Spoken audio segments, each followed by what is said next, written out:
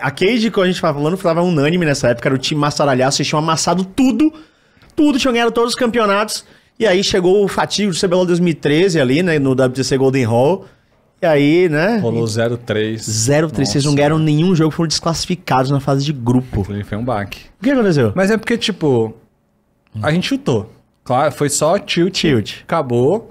Mas é porque não tinha como a gente não entrar muito. Muito estrela naquele jogo. Primeiro porque todo mundo tinha 17 ou 18 anos. Já começa. A receita da merda, pra qualquer merda acontecer, é ali dos 13 aos 20. Tem que ter um imbecil dos 13 aos 20 fazendo alguma coisa. E eram todos imbecis. Todos imbecis. Jogador de LOL com 18 anos faz o quê? Merda. Exatamente. E, tipo assim, primeiro teve os qualifies, tipo, foram quatro qualifies. A gente ganhou três e o que a gente não ganhou é porque a internet caiu e se a internet cair no meio do campeonato, GG, você perdeu. Não tem o que fazer. É, um abraço. Aí, e, no, e tinha um mês de preparação do, do último qualify. Ah, a gente sabe todos os grupos, etc. Até o campeonato, de fato. Aí a gente fez um bootcamp em Santos, Em Santos. histórico, com a gente, com a primeira tela que a gente... Não era Gaming House, né? Mas foi um bootcamp É. que era uma Gaming House. E, mano, em um mês de screen, jogando dois blocos de três por dia, a gente não perdeu um bloco. A gente só perdia um jogo por série de três. Como que por um mês você ganha todas as suas séries e você não entra falando que vai ser fácil? Com 18 anos, pensando, caralho. Mas Eu sou o melhor do time. mundo nessa somado, porra. Somado ao fato de vocês serem jogadores de experiência, jogaram, a maioria lá não ter A gente jogado já era nada. bom. As experiências recentes, de Crevão, Bibi, vocês sabiam o caminho.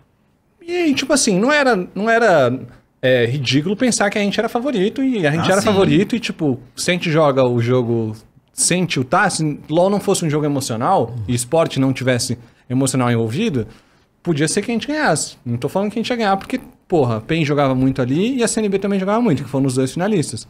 Mas, tipo assim, aquele time era insanamente, era, era só trocar o Revolta. O Rafs pelo Revolta e... Quem que era o AD? Tô tentando lembrar. Uai, O Milo era AD?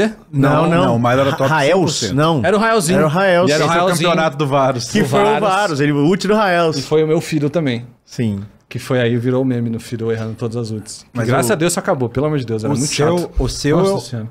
é verdade, teve. Foi o Teve primeiro isso aí. big hate que eu tomei na minha vida. Inclusive- Foi esse, que foi tipo, nossa, você é horrível, você é horrível, você é horrível em qualquer lugar que aparecer na internet. Inclusive, tem uma pergunta sobre isso aqui, ó. Do Mar... o, o Marco Tlá GG. Ele mandou Fala Shep, Temai, Lupão. Lupão, aquele Fiddlestick que você falou 2013, foi Meu roleplay Deus. ou foi misplay? Tá vendo? Aí, ó.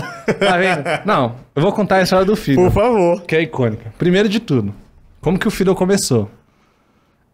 Naquela época, não existia muita gente que acompanhava LCK, e não, não era- nem era LCK, era OGN. época. Eugênia. Acompanhava, enfim, os campeonatos coreanos. Eu era uma das poucas pessoas que, tipo, eu, o Philip, é, tinha o nosso coach na época, que era o Holly, a gente acompanhava bastante, tipo, religiosamente, meio que, a OGN. Aí antes do primeiro Qualify, que era aí de Campinas, tipo assim, não existia Fiddle suporte. Pô, Fiddle suporte, o que é isso? Naquela época o Fiddle era roubadaço, inclusive. Aí a gente tava jogando uma série contra a CNB pra final. Era final contra a CNB. E naquela época tinha Winners e Losers, a gente veio da Losers, só que o cara que tava na Winners, ele tinha uma série MD3 de vantagem em você.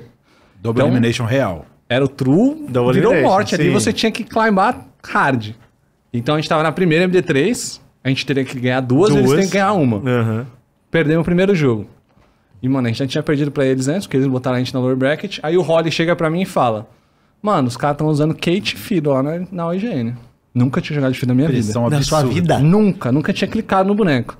Aí ele falou: Ó, é isso, é isso aqui que eles fazem na lane phase, vamos pegar? Vamos. Pegamos no, prim- no segundo jogo, ganhamos. Terceiro jogo, pegamos, ganhamos. Ganhamos o primeiro Ganhou a MD3. Quarto, é, aí seria o quarto jogo, pegamos, ganhamos. Quinto jogo, pegamos, Os ganhamos. caras Pô, não, os caras não baniram? Não baniam, eles baniam tipo Nock, Rumble, outras coisas estavam sendo picadas junto, porque era uma, toda uma composição. Uhum. Sim. Mas a gente sempre, Kate, Fiddle, Kate, Fiddle, Kate, Fiddle. Joguei quatro jogos seguidos com o boneco de Ganhou Fiddle. os quatro. Ganhei os quatro, falei, caralho, Fiddle é roubado, vamos lá, Fiddle e os caralho. E aí todo mundo conhece- começou a me conhecer pelo Fiddle Chicks, de uma maneira positiva. Aham. E aí, nesse mês de, de pré-CBLOL 2013, só Fiddle, Fiddle, Fiddle, e ninguém bania, aí Fiddle, Stomp. Stomp, Tome, Fiddle. Cheguei na hora do campeonato de Fiddle, tiltadaço, errei todas as últimas. Virei mesmo. Fudeu, então o jogo. Eu, porque aí a memória que fica é óbvia que é essa. Porque Sim. era o maior campeonato e eu, porra, errando todas as ult. Aí cancelava a ult. Porra, aí não tem como.